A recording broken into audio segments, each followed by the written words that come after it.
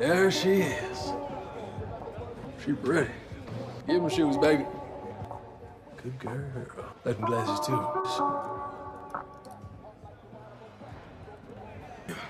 Now, it's just one more thing I want from you.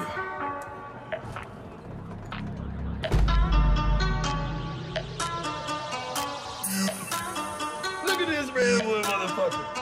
What you want? To give you a choice. You're in my house, Fatso, and you didn't ask permission. So you and your friends can leave now, or they can carry your fat ass out in a bucket. Now I'll count to three. One. Two.